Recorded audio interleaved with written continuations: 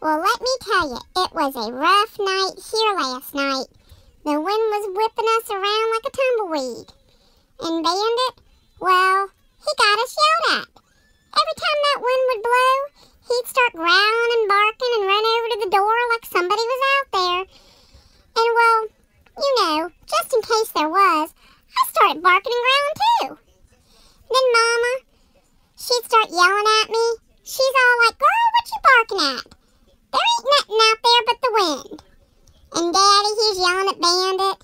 He's all like, Bandit, you're the stupidest dog, I swear.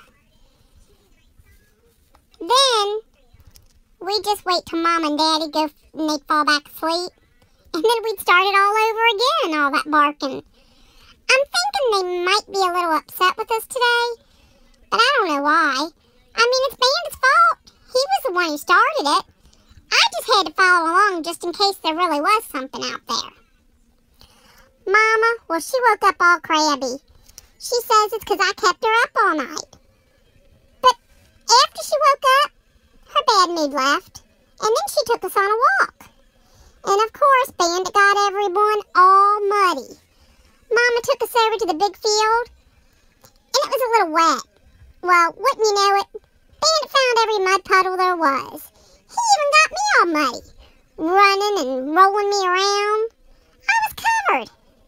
So then I jumped all over Mama and Jess, and I think we all know what happened next. Yeah, they got all muddy too. It was an honest mistake. Then when we got home, Mama and Daddy got busy moving stuff around, and they made me stay inside. Mama said she couldn't trust me. Can you believe that my mama actually talked to me like that? I'm just heartbroken. It's all Bandit's fault?